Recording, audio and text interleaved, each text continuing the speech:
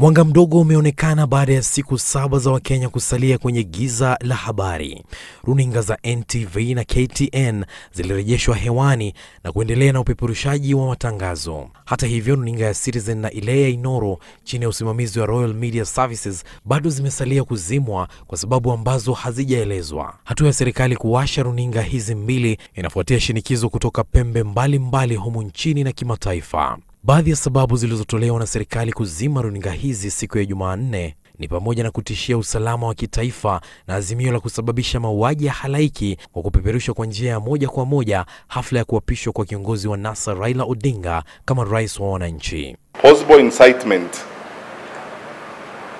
that would be aided by media activities, we took the decision to switch off three uh, media stations. Hata hivyo, serikali haikutoa ithibati ya ni vipi taarifa hiyo ingesababisha vifo miongoni mwa Wakenya. Jaji wa mahakama kuu Chacha Mwita siku ya Alhamisi aliamuru halmashauri ya mawasiliano nchini CAK kurejesha mita bendi ya upeperushaji, ila amri hiyo iliyoafikiwa baada ya mwanaharakati Okia Omtata kushtaki waziri wa mawasiliano Joe Musheru na mwenzake wa usalama Fred Matiang'i haikutiliwa maanani.